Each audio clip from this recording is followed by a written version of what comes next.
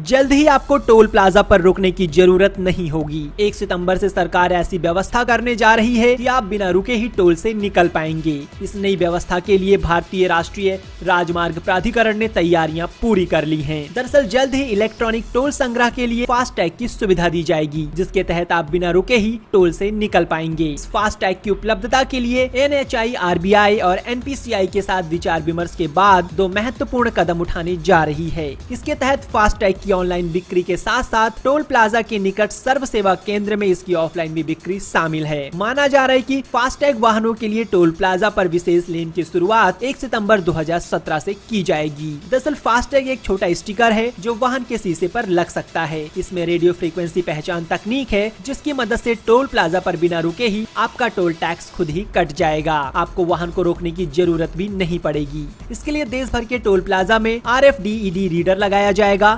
साथ ही hybrid etc का काम चल रहा है। इन हाइब्रिड लेन में से एक लेन को फास्टैग वाहनों के लिए आरक्षित रखा जाएगा, ताकि फास्टैग वाहनों से स्वतः ही टोल टैक्स का भुगतान हो सके।